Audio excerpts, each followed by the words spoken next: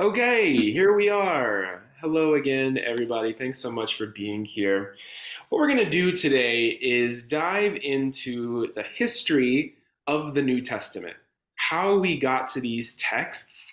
Um, and this is a conversation that's going to foreground our next week's conversation about how the New Testament as a canon, as a distinct set of authorized books, came to be. Before we get there, we're going to talk about what the texts are and um, and what the various options were to some of the folks who got together and decided what the New Testament texts would be. So. Um, I'm going to reiterate what our goals are for this experience, this class. Um, one is to learn. We're going to learn about some histories of these texts, about some of the histories of this religion. And also, what we're going to do is some unlearning, maybe, to question some of the assumptions that we may be bringing to our conversation about these texts and the Bible in general. And then, lastly, a goal that we have together is to empower us as contemporary readers or listeners um, to the Bible, of the Bible, empower us to feel as though we have agency to dive into the work of interpretation ourselves.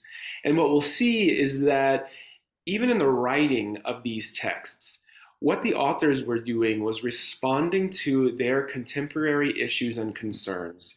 And so, are doing that same thing, reading these texts in the context of where we are now, is part of the biblical tradition that dates back to its origin. Last class, we talked about the formation of the Hebrew scriptures and that canon and the process that was started and restarted mainly with a view toward consolidating identity among a group of people who were scattered, who were having to reckon with devastation and trauma at a national level. And so, so much of what the Hebrew scriptures were about, taking oral traditions that dated thousands of years before they actually were committed to text, that a big part of that work was giving meaning to contemporary rather than historical events. Again, we're seeing that dynamism, the way that the biblical authors were responding to what was going on for them in the moment that they were writing. So, before we move into um, today's content, I'm wondering did anyone have a takeaway that they might like to share who was there from last week um, that, that they're kind of carrying with them into this conversation?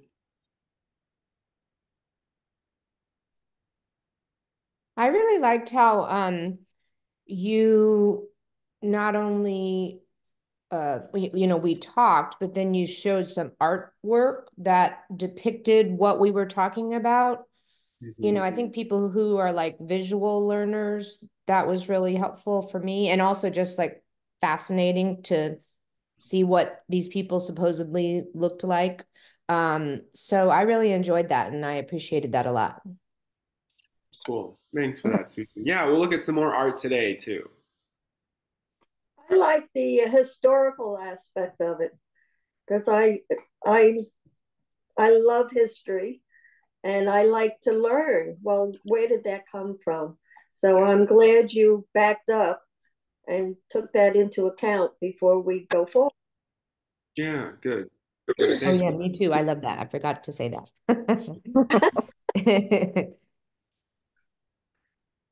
Any other takeaways folks want to share before we dive into today's content? Okay, well, we're going to start with Jesus. And I'm going to ask you all if someone asked you to describe who Jesus was, what would you say? who is Jesus?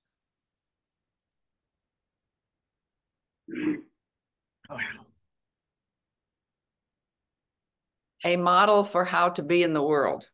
A model. Okay, a model for how to be in the world. Okay, great. Thanks, Gail.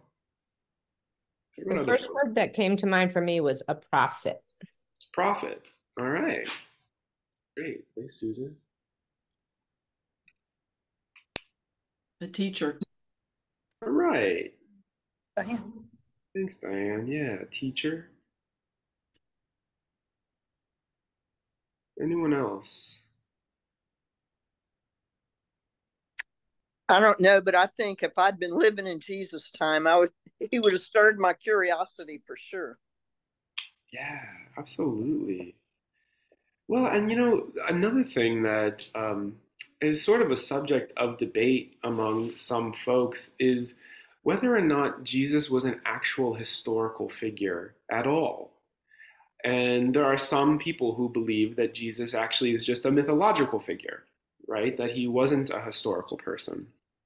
And and they think that because there's a sense that the gospel stories, as we talked about last time, and scripture in general, it's not history. It's not meant to necessarily record events in a journalistic way that we think of today.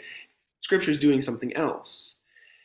And so that theory exists out there. However, the consensus among most scholars of ancient history is that Jesus was, in fact, an historical person and he was a literal person. And there's evidence beyond the biblical texts to support that. So there is an ancient, um, an ancient Jewish historian named Josephus, who is relied upon for a lot of this history around um, the first and second centuries um, of the Common Era, formerly known as AD, and Tacitus, who was a Roman historian, who also makes mention of Jesus. And so there are these other, I mean, non Christian sources for Jesus's historical authenticity. And so the consensus is that he did exist. But now that doesn't answer the question what kind of historical figure was he? Was he a fanatical zealot caught up in the apocalyptic teachings of his time who sought to bring down the Roman Empire and was prophesying about the destruction of the world and this new regime coming to be? Was he prophetic in that sense? Or was he more of a teacher? These are the two, two things that we talked about just now that you all named a prophet, a model, a teacher and so maybe if Jesus wasn't one of these um, apocalyptic prophets of his time, was he more like a sage, a teacher of wisdom, a rabbi in that sense? Someone who wasn't necessarily predicting the fall of the Roman Empire, but was rather teaching and modeling another way to be in the world. And different folks have really different answers to that question. And so, what I'm going to invite us to do is to dive into the gospel stories now and see what we may decide for ourselves. The goal of this conversation, by the way, isn't to have consensus. We may leave still with very different ideas about who Jesus was and what his work in the world in history was. But let's dive into the Gospels and, and some of the other um, New Testament scriptures and see what we come up with. Little background though. The Gospels have lots of things and lots of places where they differ. Contextually speaking, though, they have a whole lot in common. They were all written after the destruction of the Second Temple during the First Jewish Roman War. And so, what that means is that they were written in the context of yet another historical trauma that the nation of Israel was facing. And, and, and so this happened as a result, by the way, of a Jewish rebellion in Judea. And the Roman government decided to lay siege to Jerusalem. And they did that by storming the temple walls, and anyone who tried to flee, they crucified. And so they surrounded the um, city of Jerusalem with crucified Israelites. And Josephus, this Jewish historian from this time, writes in somewhat vivid detail about the way the Romans did that. Um, our image of what crucifixion looks like is with your arms out and your feet down, but apparently people's bodies were contorted and put into all kinds of different positions, um, whether upside down or or what have you. And so this was a gruesome period. Um, and so now this happened after what is recorded as the time of Jesus's life. So Jesus would not have seen this destruction. However, the authors of the Gospels would have seen it and experienced it. So that's something for us to keep in mind is that this is a reality that they are contending with as they are writing the stories of what happened to Jesus. So they're all written um, after the destruction of the Second Temple.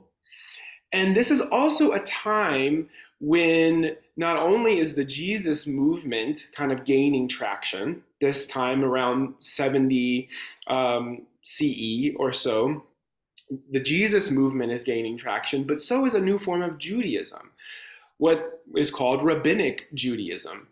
After the destruction of the temple, now there's a question where is the center of Judaism as a religion going to happen? And so there's a movement um, towards decentering the temple and suggesting that Jewish life can continue in the context of the home. And in the in the growing number of synagogues that exist outside, again, of the temple as the center of gravity for Judaism.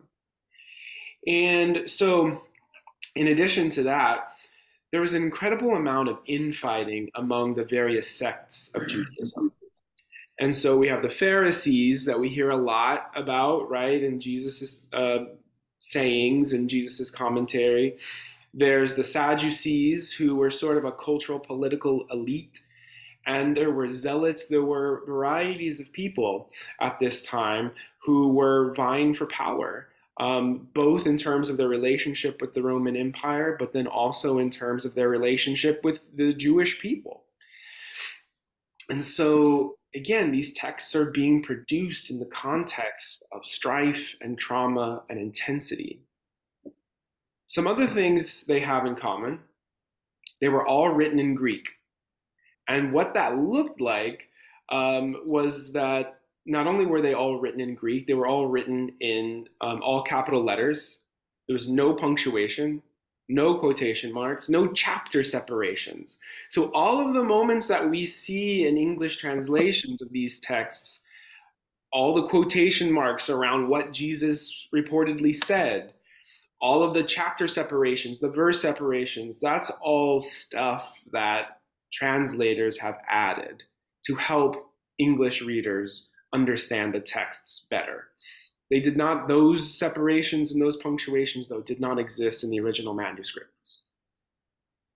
Additionally, what all the Gospels have in common is that nobody knows who wrote them. They're all unknown authorship. None of them are signed by anybody.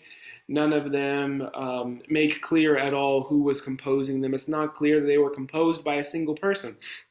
Authorship of Mark, Matthew, Luke, and John, that was assigned later um, by various Christian bishops as they were forming the New Testament into a canon. And related to that, no original copies of any of the gospel texts survive till today. The texts that we have are all copies that are maybe second or third generation copies, in fact, um, and most of which come to us from a composition from around three, the 300 CEs. Um, and they don't all agree with each other, actually, the various third generation copies of these texts that we have there are minor differences among them. Any questions or comments just about that piece of things before we dive more specifically into in the Gospels themselves? So, Tony, how did these bishops decide that, oh, I think Paul wrote this or I think Mark wrote that? Yeah, they basically were thinking about the context of the communities that read these texts, and then they kind of assigned labels to them. There was tradition passed on from one generation to the next that um, this person or that one wrote these texts, but there it was all based on tradition. And we'll get a little bit more into that next time when we talk about the canonization process.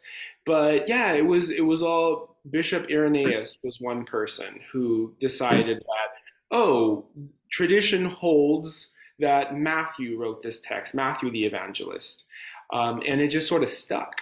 And it's we'll see how basically just happens. like a good guess.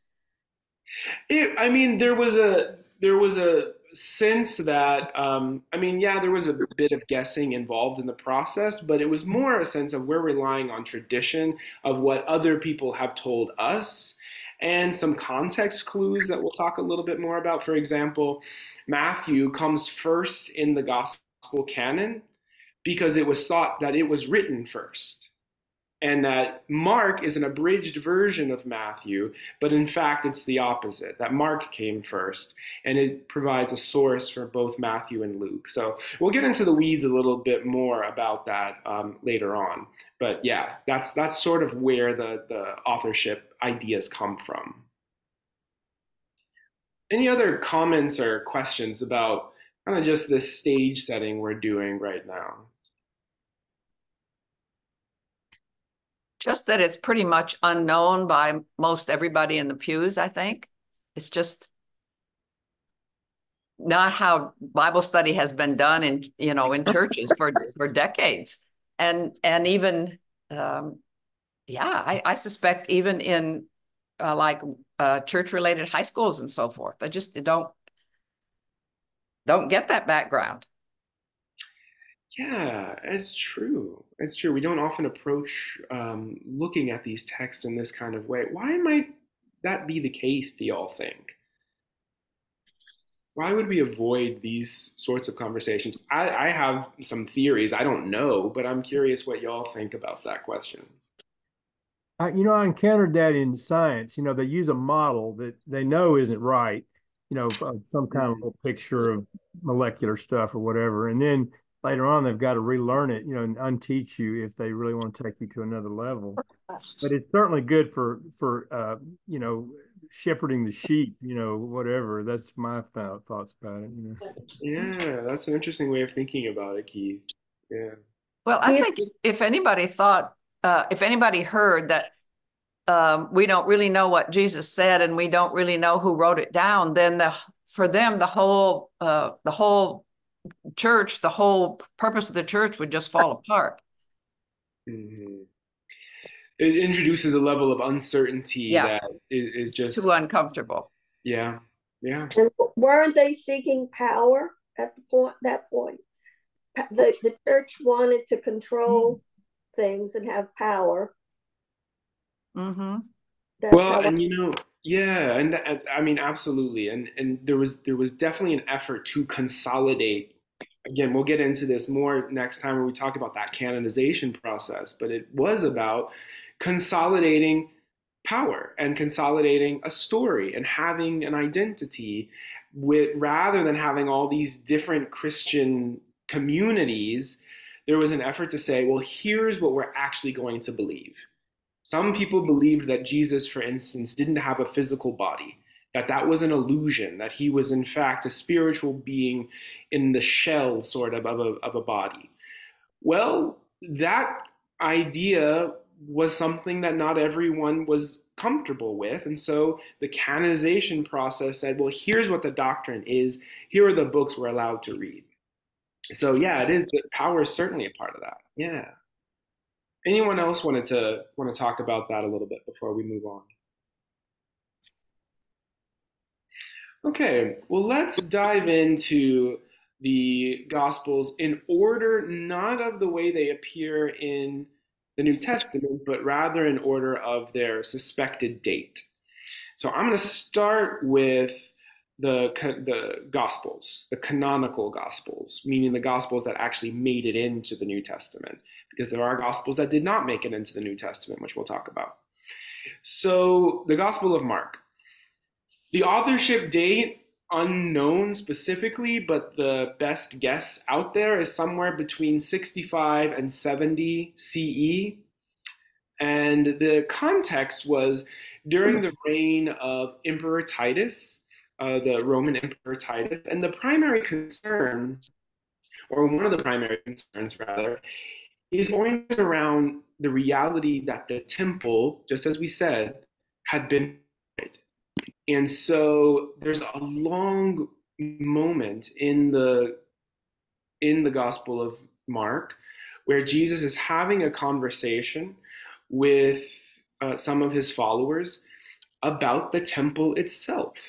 And so I'm going to pull this up so that y'all can see it.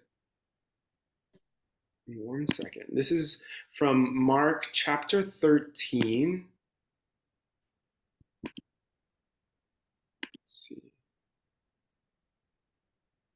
Can y'all see that okay? Mhm. Okay.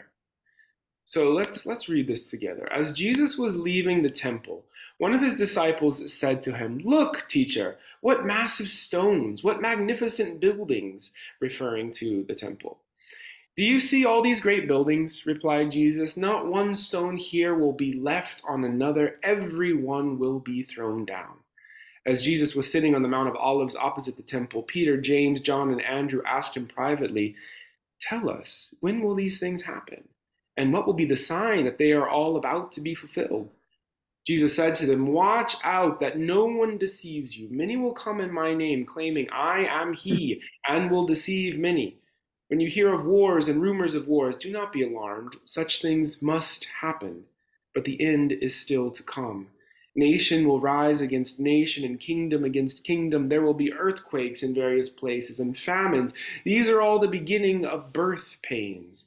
You must be on your guard. You will be handed over to the local councils and flogged in the synagogues. On account of me, you will stand before governors and kings as witnesses to them, and the gospel must first be preached to all nations. Whenever you are arrested and brought to trial, do not worry beforehand about what to say to say whatever is given to you at the time. For it is not you speaking, but the Holy Spirit. Brother will betray brother to death, and a father his child. Children will rebel against their parents and have them put to death. Everyone will hate you because of me, but the one who stands firm to the end will be saved. When you see the abomination that causes desolation standing where it does not belong, let the reader understand, then let those who are in Judea flee to the mountains.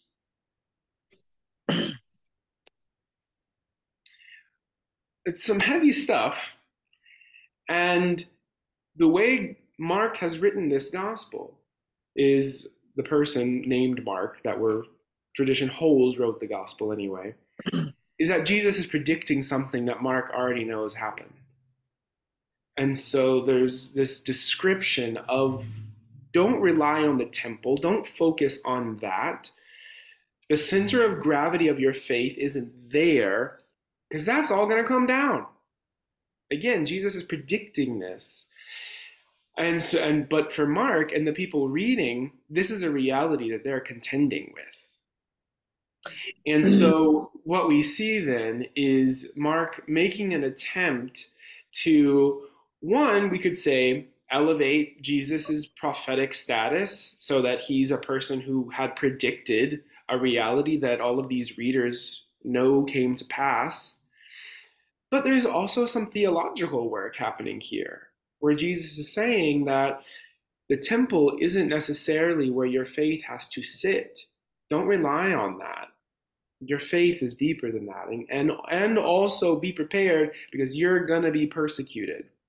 Again, a reality that Mark already knew was happening. Any questions or comments about that passage and how it fits into this piece of our conversation?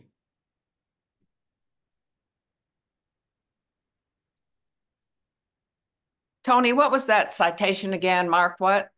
Mark 13, I think it's 1 through 14. Okay.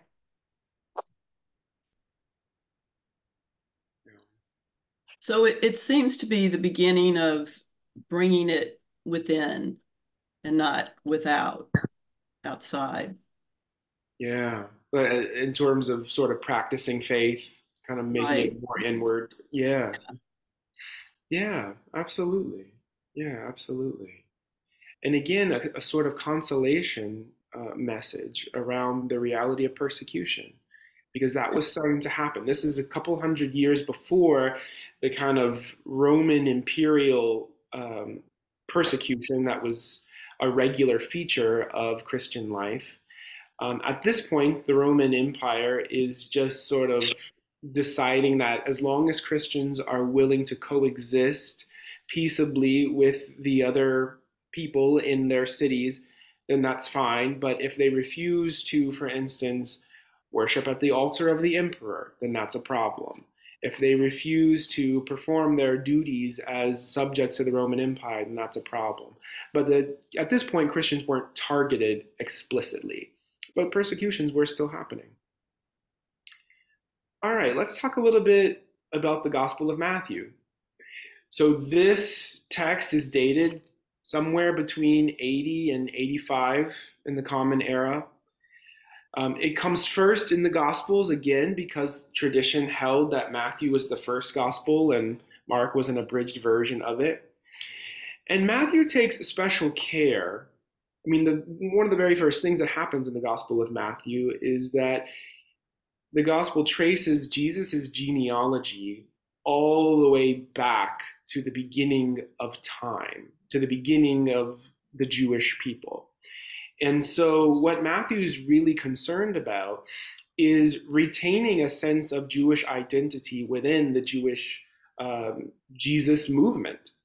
To say that there's a continuity, actually, rather than a break, that Jesus is part of Judaism. And so, being a follower of Jesus means that you are also taking part in a Jewish tradition.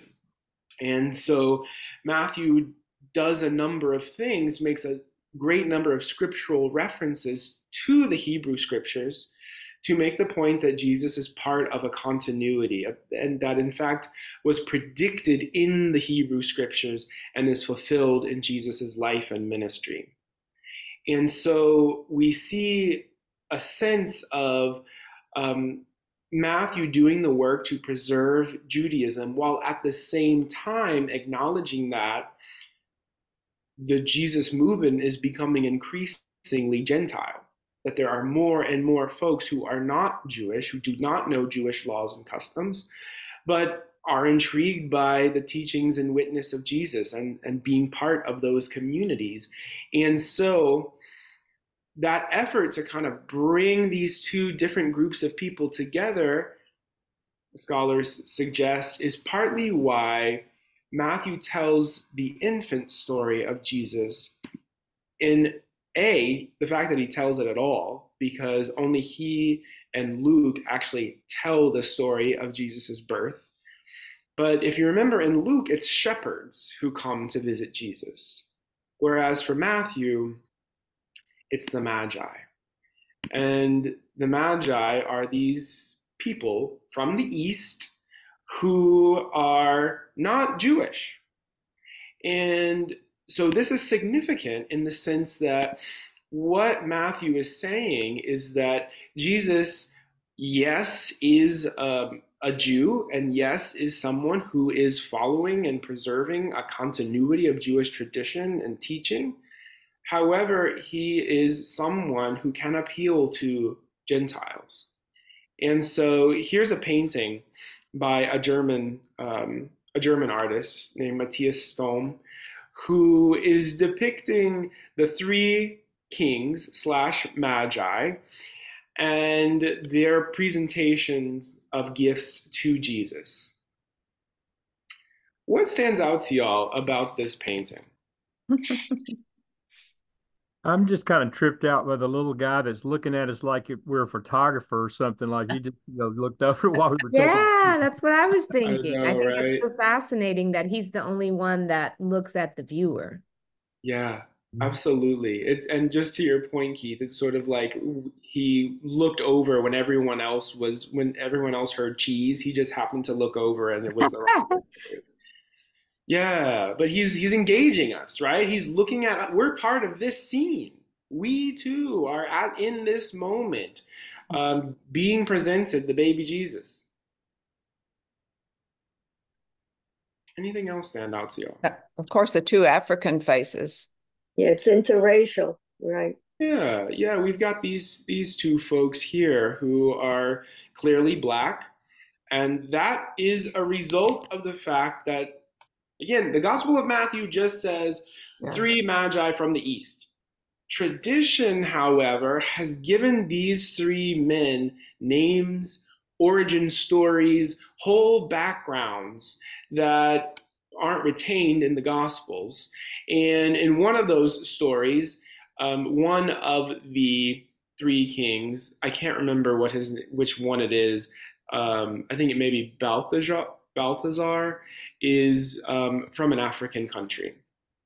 And so that carries on in throughout Christian tradition, particularly in Europe, um, even until today, where there are on Epiphany, the moment in the Christian calendar where we celebrate the Magi making it to the baby Jesus, people will dress up like the three kings in these parades. And so you can find lots of pictures of Spaniards and French folk and all kinds of people dressing up in these ways.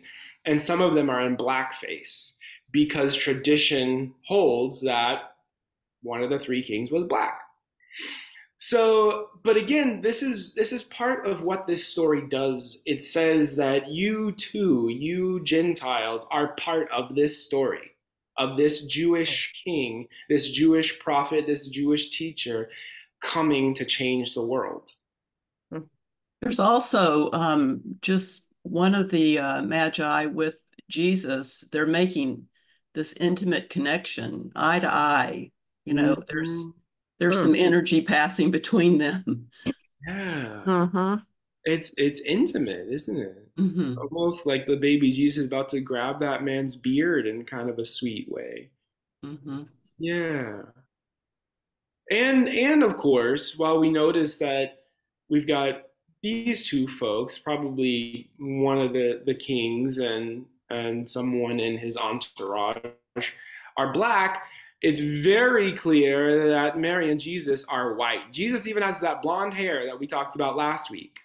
Mm-hmm. Again, th- this is not historically accurate. It's not meant to be historically accurate. This is an invitation. This painting is an invitation for the contemporary followers of this moment of Jesus to see themselves as part of the story. Even so much so that they can say that the Holy Family shared ethnic qualities with them. Um, and that and you see this happen throughout European history, where Jesus has red hair for Dutch painters or German painters, and black hair for Italian painters, and blonde hair for German painters. It, it was part of a tradition of claiming this this story for for uh, the audience themselves. Any other thoughts or comments before we move to the next gospel? Okay, let's talk about Luke Acts. So, Luke is thought of as a distinct gospel, right? Um, written maybe in 85 to 95. However, it is a of a piece that includes Acts as well. The beginning of both of these books, there's an address to a person named Theophilus who is, according to tradition, um, very possibly a kind of elite Gentile who's considering the teachings of Jesus and wanting to explore them more. And so, what Luke does is say, I'm going to write down a, a, a an account of the events that took place in Jesus' life, retaining information about Jesus' teachings, but then also what happened after Jesus died and was resurrected. The work, the acts of the apostles. And so Luke Acts actually are sort of a combination uh, of, of a single text. However, in the canon, they're broken up. We have the four Gospels, and we have Acts, and then we have the, the letters. Um, some versions of the Bible, more contemporary versions of the Bible, actually will pair Luke and Acts together to make it clear that that was the original intention of the author. But um, together, Luke and Acts make up almost 30% of the New Testament, the biggest book, uh, the a combination of books in the New Testament. And there's a sense among scholars that it was primarily addressed to Gentiles. And that's based on the fact that there's a lot of use of words like Jews and Israelites. And so there was a sense that this was sort of a, a text that was attempting to explain the witness of Jesus to people who were not familiar necessarily with Jewish tradition in the same ways that maybe Matthew's audience would have been.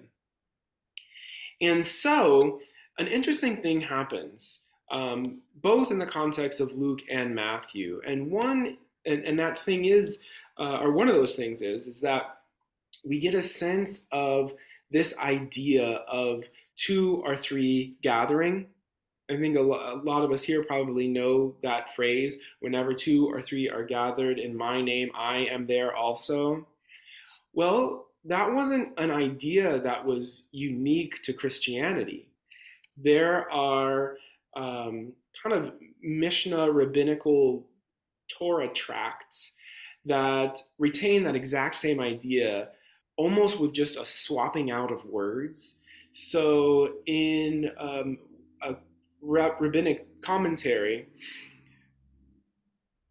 it is said that, but if two sits together and the words between them are of Torah, then the Shekhinah is in their midst. The Shekhinah is a Hebrew word for divine presence, Holy Spirit, if we will, if, if you will. And so, again, there's a sense that we've got these two approaches, at least two approaches, to dealing with the reality that the temple has been destroyed. One of them is oriented around Jesus, and the other is oriented around the Torah and the divine presence that can be found in reading the Torah. And so Matthew just sort of writes that phrase that we just um, that we just described together. Whenever two or three are present in my name, I am there also. Luke, however, does it a little bit differently. And so rather than write that phrase, what Luke does is illustrate it in a story. And it's a story that only appears in the Gospel of Luke. And that is the story of the disciples on the road to Emmaus. And so this is a story in which after Jesus' crucifixion, um, a couple of his disciples are walk, walking back to the city and they look really downcast and sad. And a person appears to them and says, What's, what's wrong? Why do you look so sad? And they are like, What did you not, are you not aware of the fact that all of this has taken place? The trial, the crucifixion, all of that? I mean, it's been kind of a big deal. And then Jesus walks with them and describes to them um, basically how this is all part of God's larger plan for the salvation of the world. And so here's a painting by um, an artist from um, Latin America. His name is Maximo Baraceda, and he is taking this story and centralizing it in his own context. And so, what we have here is Jesus walking with the two travelers, and they're blind because they can't see that it's him. In the gospel story, they are not actually blinded. Um, they, they don't have blindfolds on. They just aren't aware of the fact that Jesus is with them. When they realize it, is when Jesus sits down with them and breaks bread. And then suddenly they become aware of the fact that it's Jesus who's been with them this whole time. And so here you can see Jesus is breaking bread, and he's got sort of a bit of a, a, a, lighter halo around his head, and he's got wounds from the crucifixion. And so you have these these two folks who are humbled and in awe um, of the fact that they are communing with Jesus in this way. And they have backpacks. And they've got backpacks. Yeah. yeah. Here they are with them on, and here they are sitting down. What else do y'all notice about this painting?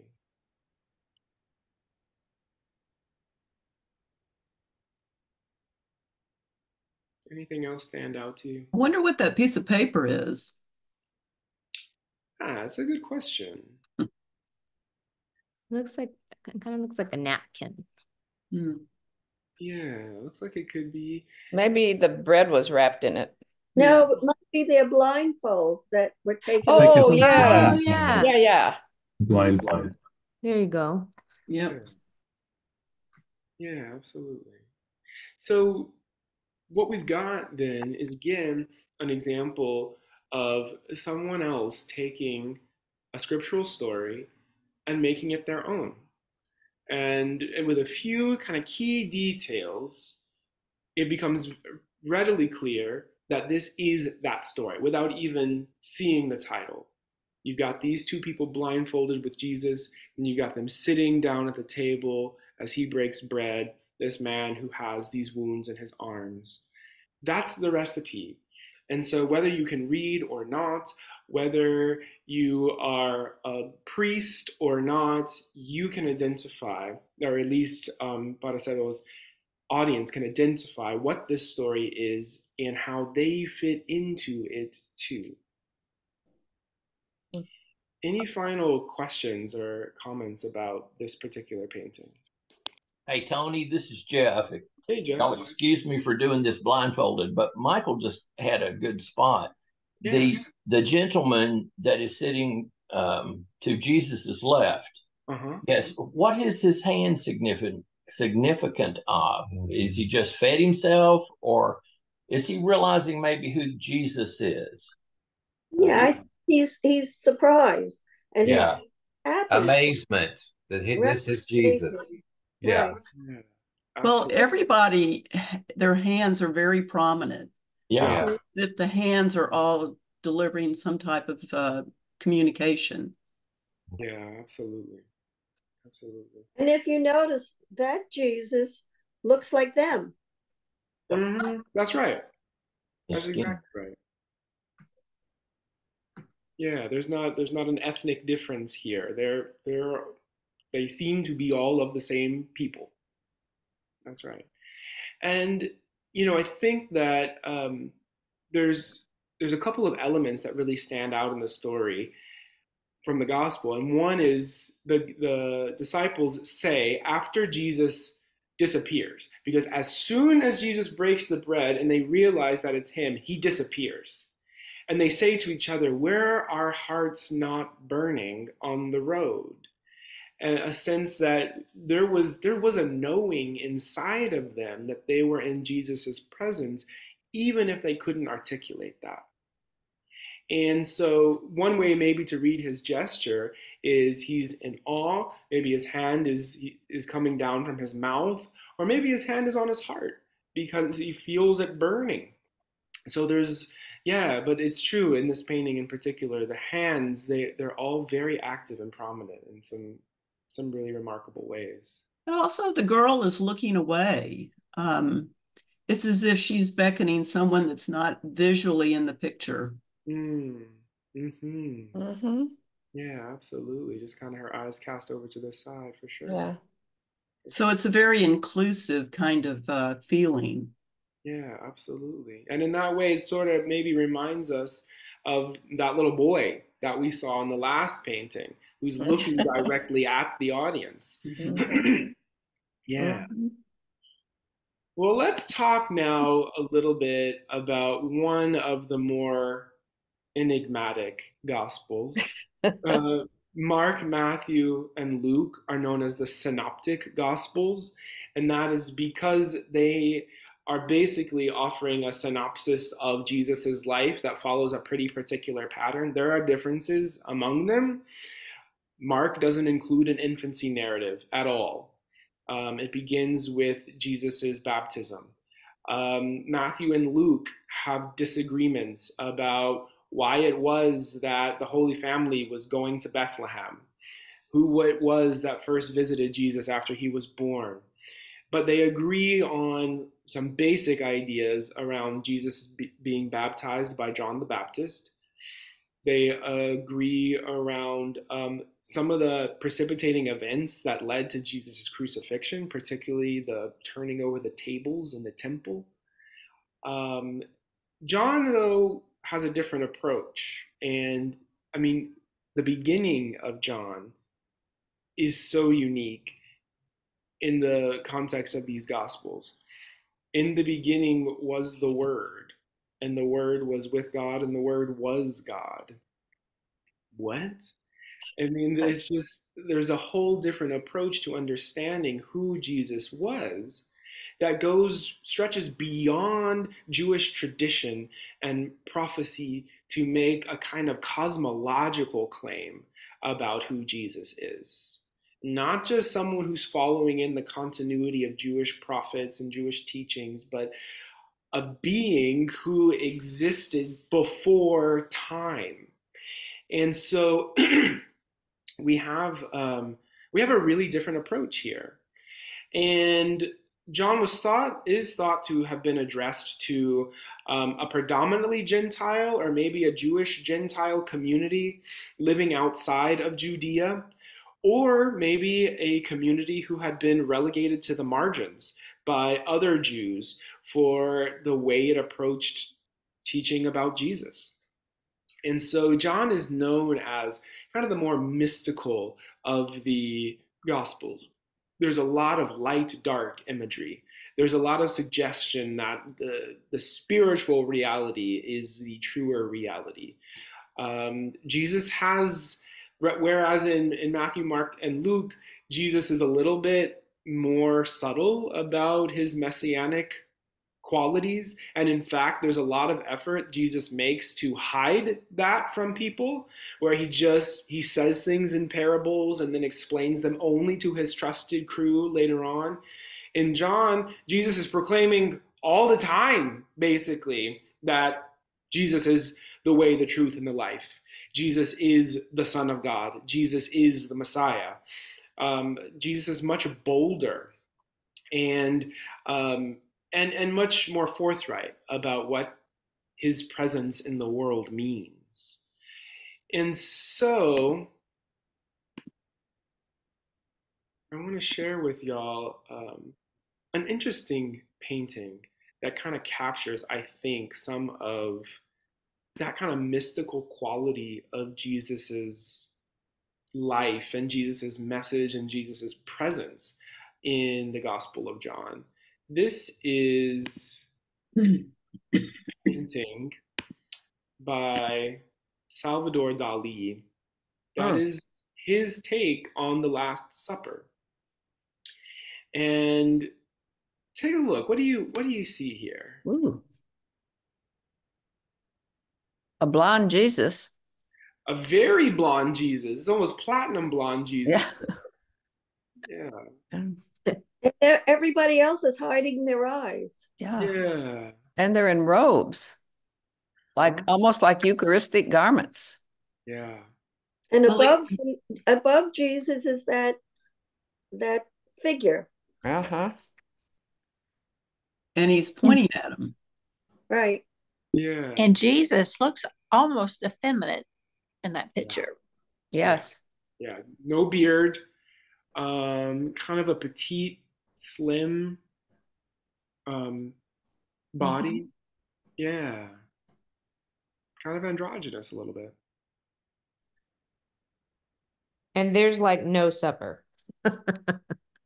Yeah, this isn't so much a meal as it is literally bread and wine. right. Yeah, it's true. Yeah, it's true. Yeah, and, and also, I mean, the setting is is interesting. Not only this kind of idyllic mountain landscape with the still water, but I mean, this architectural structure that they're in, it looks like a spaceship or something. Um, I think this painting is fascinating. I think it's beautiful. And it's just, I don't think anyone would, uh, certainly Salvador Dali, would make any claims that this is meant to be a, an historically accurate depiction of what took place at the Last Supper. He's reading into Jesus's life and presence this kind of mystical quality. Everyone's head is bowed. They're wearing these robes that maybe echo, as some of us have been saying, priestly garb during um, the Eucharist. And Jesus is glowing, and there's this disembodied mystical figure above him that um, that is almost is barely half a torso Mhm. with the arms outstretched. And and so again, I, I think this painting kind of captures some of the I, I think John would have liked this painting. I think the the author of, of the Gospel of John would have appreciated the its its treatment even of bodies. And the, the emphasis isn't so much there as it is on this larger mystical quality that um, is a little bit inexplicable. Is there's on and on the arms, it looks as though there's stigmata on the hands outstretched. Here. On Mm, yes. hmm mm. Yeah. Yeah, that's interesting. Is I don't know if that's a foretelling or I Yeah. Well, you know, it could be sort of a collapsing of, of time periods and whatnot. Yeah. Right. Any other comments or, or questions about this painting or the Gospel of John? and no no head on that figure. So again, uh, and it's not a while it looks strong, it doesn't look um, and it looks kind of male, but Yeah. Yeah, but this definitely isn't uh, some sort of buff, masculine, uh, weightlifting Jesus. No. I didn't think it looked so much like a spaceship. I thought it looked more like a church Mhm. with Mm. with the communion table in the middle. Uh-huh. Yeah, definitely. That definitely has kind of a, a a communion table vibe to it. And yeah, in this architecture here, sure, maybe just some kind of um, church-like fixtures. Yeah. Well, I'm gonna um, end us with just we'll have more conversation about Paul as time goes on. Um, but I'm to just quickly close us with a rundown of what texts ended up becoming authoritatively known as Paul's texts and which ones are either subject to debate or thought to not be Paul's at all. So, um, the texts that are thought of as Paul's letters that we consider authoritatively Paul, um, there's only seven of them. So Galatians, Corinthians, First and Second, Romans, First Thessalonians, Philippians, and Philemon. And these are actually older than the gospel texts, all of them. Galatians is dated to be around 48 CE, so that's about 20 years before the Gospel of Mark would have been written. And then the latest is Philemon, which would have been written, they think, around 62 CE, which again is maybe 10 years or so before the Gospel of Mark would have been written. Now, there's a lot of other letters that are attributed to Paul Second Thessalonians, Colossians, Ephesians, Timothy, Titus that scholars are either uncertain um, about whether or not they were written by someone who was writing in Paul's name, or um, in the case of Timothy 1 and 2 and Titus, they are certain that Paul did not write those letters. And so, looking at Paul's letters, though, and just, or the letters attributed to Paul, what we see is a real shift away from, starting with Galatians, all of this language about there being no longer Jew or Greek, no longer male or female, no longer slave or free, for all are one in Christ. Then, as we make our way to the texts that um, were likely not written by Paul, Colossians, 1st and 2nd Timothy, we get a whole different approach to gender and the slave status, where we get Paul saying, women must obey their husbands, slaves must obey their masters. And so, what scholars think happened is that as Christianity continued to grow and become a wider spread movement, tensions started to arise with Christians who are more grounded in a sort of egalitarian approach to community building and the norms of the societies that they were in. And so there was an effort, scholars think, people writing in Paul's name to say, we need to look a little bit more like mainstream society. We can't stand out in all of these kinds of ways. um, because it's going to put us at risk.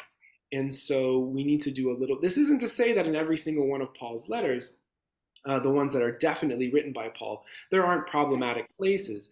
But we see as we move farther and farther away from Paul's voice, a deeper and deeper effort to reiterate the norms of the wider society rather than challenge them in the way that Paul did. And so next time we get together, we're gonna, we'll go more into that and we'll talk about why it was that some of these letters made their way into the canonical canonical New Testament, and we'll talk a little bit about the books that didn't make it in. Um, the Gospel of Thomas, for instance, did not make it into the New Testament canon, even though scholars think it's older, that it was written more like 60 CE. Um, the God, there's a gospel according to Mary. There's a gospel according to Judas. There's a gospel according to Philip. There are several different apocalyptic gospels, um, or rather writings. Revelations is the one that we know that makes it into the gospel, but there's also an apocalypse according to Peter, and an apocalypse according to um, to a whole variety of different folks. And so next week we'll talk about what the process was for selecting the New Testament books that became part of the canonized Bible. We'll talk about some of the debates that took place around uh, theology, around understanding who Jesus was, how Jesus related to God. Is Christianity a monotheistic religion or isn't it? And if so, then how do we make sense of these competing ideas around what Jesus was and what he taught? Um, we'll talk about some of the politics that were involved in making these decisions. And, and that'll set us up to talk about, um, once we get a kind of a sense of how that context formed, then that'll set us up to start moving into thinking about, well, how do we interpret these texts? What are the various ways that people have interpreted them? And what does that mean for how we might interpret them today? Any final questions or comments before we close for the day? Yeah, Joel. Oh, we can't hear you, Joel. Yeah. There we go. Yeah. Yes. My comment is Jesus did actually exist. However, his name was actually Yehuda. yeah. Thanks for that, Joel. It's true. Yeah. Yehuda, Yeshua. Yeah, Jesus probably spoke Aramaic rather than Greek. And so the words that we have, the name Jesus that we have, is a Greek translation of um, of a Hebrew Aramaic name. Yeah, it's true. You know what this reminds me of? Hmm.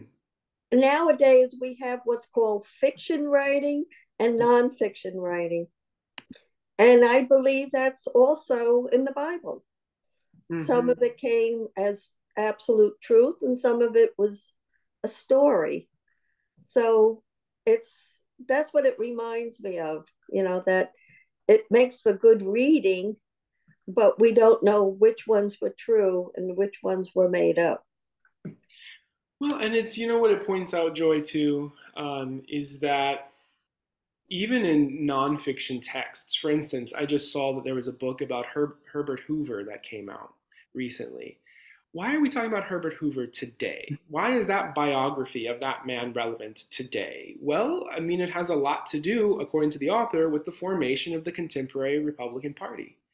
And so, all that to say is that even now, whenever we're writing, whether it's fiction or nonfiction, we're thinking about who our audience is today who's going to be reading this and why does it matter to them and and that was certainly true for for the scripture you know for the um, the gospel stories but they were even historically speaking less interested in the distinction between actual historical fact and imagined reality than we are and so we'll see even more of that as we pick up our conversation next week and so, with that, I want to thank you all so much for being here. And I look forward to being with you next week if you're able to make it.